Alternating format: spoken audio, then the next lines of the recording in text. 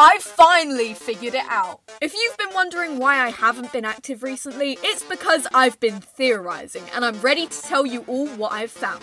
Not only have I figured out what the toilet means, but I also know who the Red Rabbit is, or why there's a prophecy, and where did the shadow come from, and why Rosie was at Billy's funeral, and why Lucky is evil.